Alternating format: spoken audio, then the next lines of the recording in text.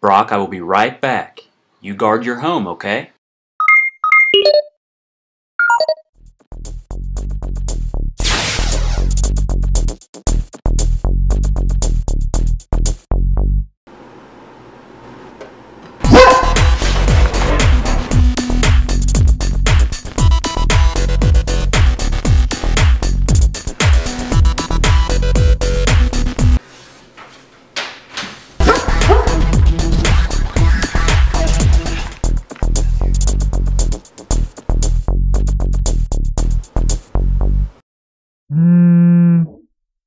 You